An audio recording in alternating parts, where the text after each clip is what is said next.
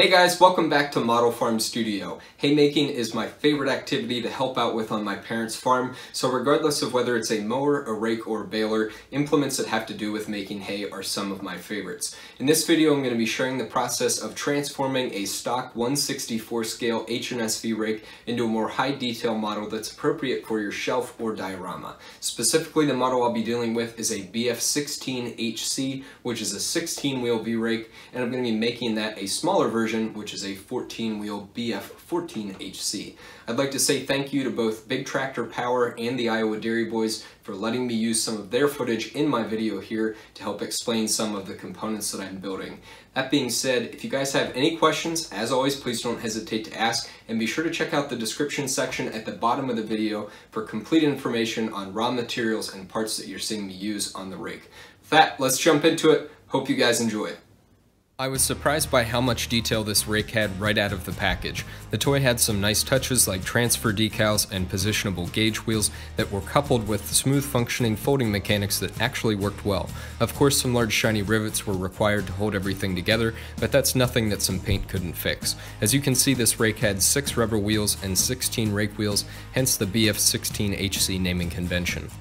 To begin modifying the rake, I started by removing all 16 of the plastic rake wheels. As you can see, these were really easy to just pull off by hand. The six rubber wheels were next to go. While the two sets of tandem wheels on the rear frame were easy to remove by hand, it was important to be a little bit more careful with the two front gauge wheels to avoid twisting the frame. With all of the wheels removed, it was time for the Dremel tool. I decided to modify my rake from a 16 wheel to a 14 wheel, so I made some cut marks with an X-Acto knife while being careful to preserve the decals on the side. According to H&S literature, a 14 wheel rake will give me a raking width of up to 28 feet.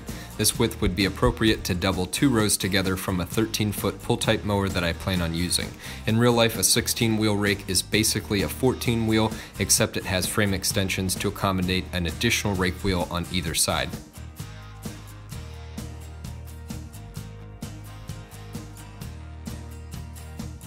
I used a small file to carefully smooth up the ends. Eventually you'll see me come back with some touch-up paint to take care of hiding this bare metal. I ground the Ertl hitch nub off to make way for a more realistic hitch that you'll see me build from styrene. Next I ground off the nubs that held the rake wheels onto the individual arms. I tried to make sure that these points were as smooth as possible to help simplify mounting the new rake wheels.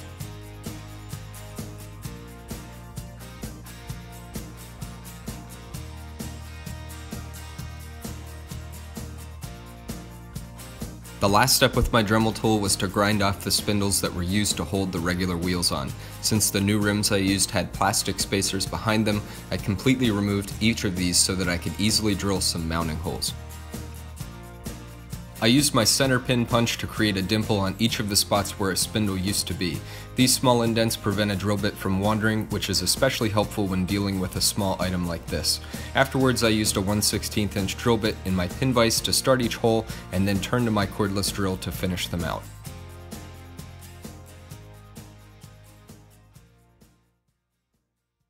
To increase the level of realism, I used photo etch brass rake wheels that were made by Tractor Fab.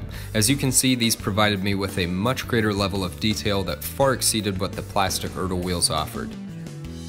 I upgraded the rims and tires to more realistic looking spoke wheels from a triple axle Unverferth seed tender made by SpecCast. As you can see these popped off easily with my tire puller and the tires could be pulled from the rim by hand.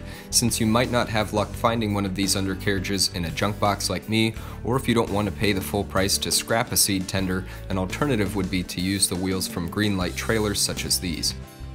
I painted the rims and rake wheels with ivory spray paint made by Krylon. To make the rake wheels easier to handle, I left them in their sprues. Once the paint dried, I cut the rake wheels out with a razor blade that I didn't care about getting dull. There are side cutters specifically made for cutting objects out of sprues, but some, like the ones that I have, are only designed for plastic, so be sure to take note of what materials they're actually advertised to cut. Regardless, these rake wheels were delicate and easy to bend, especially near the three points where they were connected to the sprues, so it's important to be as gentle as possible. Tractor Fab's instructions said to drill holes for pins to mount the rake wheels. However, my thinking was that I had a better shot of lining the wheels up by gluing them directly under the arms instead of trying to drill 14 perfectly straight holes. So, as a way of helping me know where the center of each arm was, I added a small dot of black paint to each of them. Since the wheels were delicate to begin with, I decided to wait to install them until I was closer to being finished.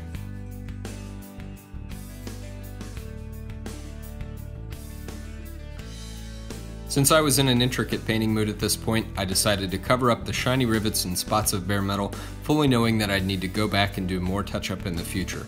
The paint I used was Model Masters Guards Red, which is actually owned by Testors. This turned out to be a pretty close match to the red that Ertl used. In real life, the rake wheels on both sides are connected together with rods that allow hydraulic cylinders on the arms to raise and lower them in unison. While there are a number of bushings and brackets that connect all of these components together, I decided just to replicate the connecting rods with some of this 51mm brass rod made by K&S Precision Metals. After cutting pieces to length, I painted them with some acrylic silver paint. After studying the rake a little more, I got my Dremel tool back out again. To provide some room to attach the rods to the arms, I thought I needed to notch the heads of the rivets that held on the front gauge wheel supports. Eventually I discovered that this wasn't really necessary as the smaller rivets adjacent from these were still in the way and couldn't really be modified that much. You'll see my solution a little bit later in the video, but I still wanted to explain my thought process at this point. I also ground off the bulky SMV sign that was casted on top of the rear frame. This was pretty tedious as I had to carefully navigate my cutting wheel between the rivet heads that were on both sides of this piece. I felt confident enough that if this cut didn't turn out well, the combination of putty, touch-up paint, the new SMV sign, and some static grass on top of it would easily hide any mistakes. I like to attach my SMV signs that I make with a small metal post so I carefully drilled a hole where the old one was. To smooth up this spot, I added some white putty made by Squadron Products. I eventually sanded and then painted this area with the red touch-up paint. Bossen Implement is my favorite source for farm toy decals like these SMV signs. I like to stick these on a thin piece of styrene and then cut the excess off with a pair of scissors. What I can't get close enough can be easily sanded off with a small needle file. Since this would be fragile when glued to the post, you'll see me come back and install this a little later on. To keep the rake from unfolding during road transport in real life, a removable metal bar is attached on the front of both arms. These bars are then pinned to holes found on an angled bracket on the main frame just above the tongue. Surprisingly, this bracket was actually casted into the toy, so I drilled a few holes out in it. After a quick mock-up, I discovered that the new tires from the seed tender made the rake sit up quite a bit higher, which meant that the rake wheels would have been further off the ground. To get around this, I installed the original tires on the new rims. You can see the difference between these two tires here. An original tire that Ertl used on this rake is mounted on the rim on the left. On the inside of each rim was a large hunk of plastic to mount the axle rod. This is pretty common to see among high detail toy manufacturers to avoid having a large rivet head on the outside of a rim. However, it can be a challenge when you're reusing these rims as they can stick out too far. To make sure these were pulled in for the correct stance, I used my Dremel tool to sand them down and then drilled the original center holes deeper. This was a tedious process as you can imagine as you have to be really careful not to break through the other side of the rim. After I glued a small piece of 1 16th inch brass into the hole in the back of each rim, I glued the exposed nub into one of the holes that I drilled earlier on the rake.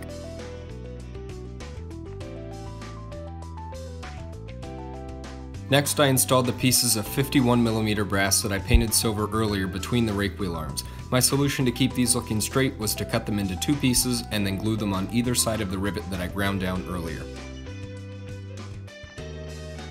I glued a small piece of a pin into the hole that I drilled between the two rivets where the old SMV sign was that I removed. This served as a post to attach the new SMV sign to.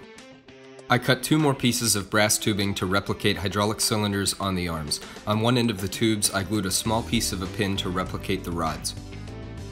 For more detail, I decided to run hydraulic lines from the cylinders to the tongue. On the real rakes, hose clamps hold these lines in place, so I replicated them with several pieces of 1 16th inch square brass tubing. This looked pretty realistic but also still allowed the rake to fold. I'll add that I intentionally didn't paint these pieces of brass before I glued them on. Painted metal glued to another painted metal surface can be problematic as it can become brittle and break off rather easily, not to mention it can often take or leave a chunk of paint.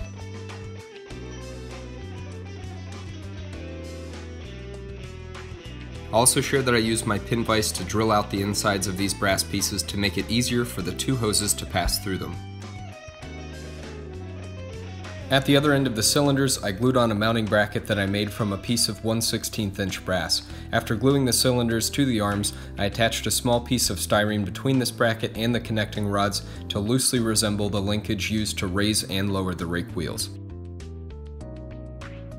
To help hide the bulk of the arms that held the rake wheels, I picked up some tiny compression springs on eBay. I applied a dab of glue to each of the arms and then carefully positioned each spring in place.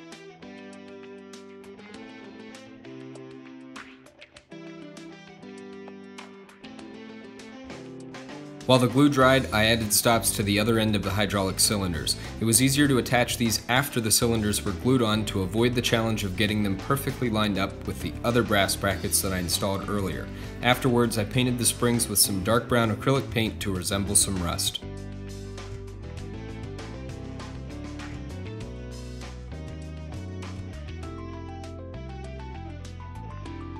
If you recall me mentioning earlier, on the real rakes, two bars are used to lock the arms to the main frame as a safety feature. A distinctive component of this setup are square plates on the end of the arms, so I fashioned these out of some styrene. After these were secured in place, I drilled a hole in the center of each of them to mount one end of the bars. To make the bars, I used some of this 1 16th inch white styrene coated wire. While this material is great because of its flexibility, sharp bends will usually cause the coating to crack off. In this case, I actually wanted the coating to be removed to make it easier for me to take the bars on and off the rake. As you can see, I bent these so that one end mounted into the holes in the styrene squares that I installed in the previous clip, while the other ends were bent to reach into the holes that I drilled on the angled bracket located on the tongue.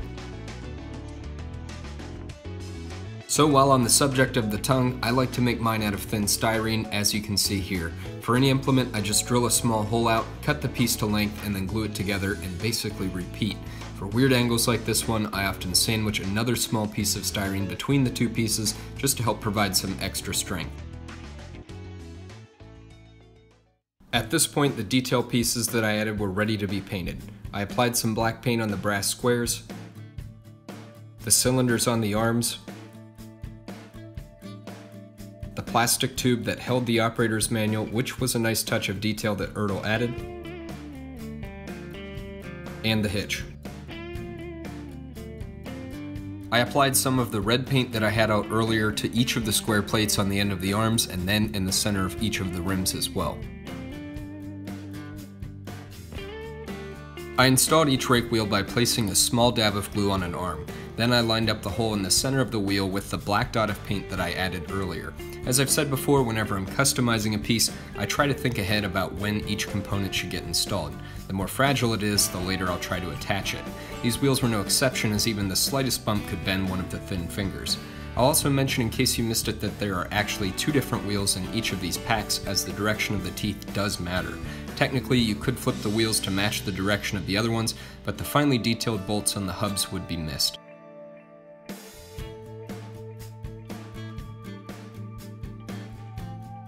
The SMV sign required just a small dab of glue on the metal post to hold it in place. I'll address painting the back of this sign a little later on. Now it was time to run the hydraulic lines through the brass squares that I glued on. For hoses, I like to use this 0.5mm bead and jewelry cord that's made by Stretch Magic. This was actually fairly easy to do, it just took a little patience to route them and then connect them to the two cylinders.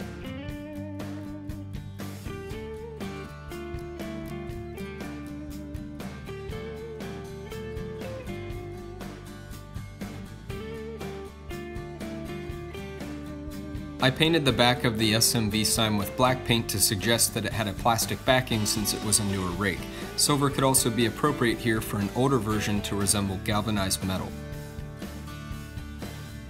Just like the SMV signs, I also use a lot of these warning label decals from Bossen Implement. These are a really easy way to enhance the detail on a project. I cut these out, went around the edges with the black Sharpie, and then stuck them on the hitch area based on where the real versions were located. I used the same red touch-up paint on the two locking bars to match the rest of the rake. I'm guessing that a lot of these bars end up in the back of machine sheds or barns, as not many are attached to the used rakes that I saw in the online photos.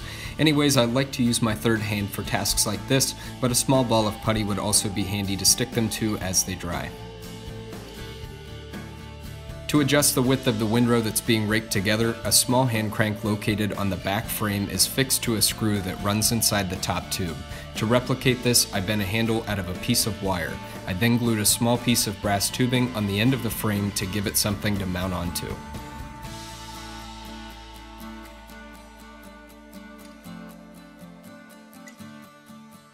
I wanted the rake to look used, so I applied some dark brown acrylic paint on the tips of the teeth and the centers of the rake wheels to resemble light rust. As a final detail, I added a 3D printed jack to the rake. To prevent it from interfering with the tractor when the rake is hooked up, I decided to make it removable. To do this, I glued a small piece of brass tubing to the side of the frame. While the glue dried, I painted one of the jacks gray and then cut it out of the sprue. Basically, the small nub on the side of the jack sat inside of the tubing.